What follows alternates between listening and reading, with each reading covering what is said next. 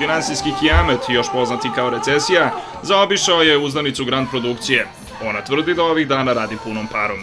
Mi mnogo radimo što je dokaz da narod stvarno voli Zvezde Granda i mnogo smo radili dok smo bili zajedno, a i eto sad kad smo se odvojili, hvala Bogu, Ako je suditi po vremenu koje je bilo potrebno da se priseti najtežih momenata u dvogodišnjoj karijeri, može se zaključiti da ih rada nije ni okusila. Um, najteži.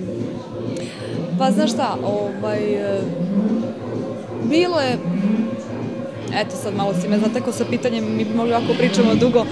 Ima naravno teških trenutaka u smislu kad e, u stvari shvataš E, nije to trenutak kao trenutak, nego prosto shvataš šta sve ovo nosi sa sobom.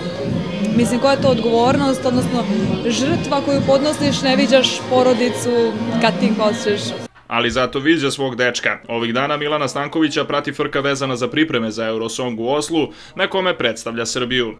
Ja se njemu divim, mene često pitaju novinari da li vidiš sebe možda nekad na Eurosongu. Ja stvarno E, kad vidim njega i kad vidim da on ima 16 emisija dnevno i ono hiljadu presvačanja, trči, e, bukvalno spava po 4-5 sati, prosto mu se divim kako, i znaš šta je fora, u stvari u tih 16 intervjua i emisija te svi isto pitaju, mislim ti treba bukvalno ceo dan da ponavljaš jedno te isto, kakva je bila saradnja sa Bregom, čemu se nadaš o, znaš, ono neka pitanja. Ne, ovo mene sad onda... konkretno interesuje tvoja saradnja sa, tvoja saradnja sa Milanom, koliko ceo taj tsunami oko njega utiče na vaš odnos?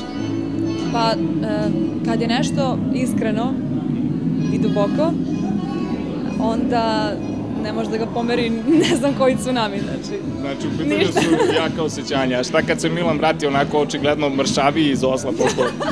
Kako mršavi? On super izgleda, ne? A ne, pretpostavljam da će od stresa smršati. Ma, ne znam, mislim, neće to ništa promeniti. Mislim... Nikada više!